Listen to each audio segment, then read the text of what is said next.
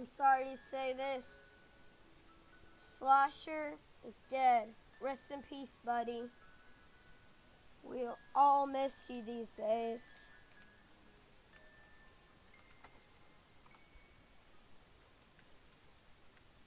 Help! Help! Ah! No! Stop! Don't let me go up!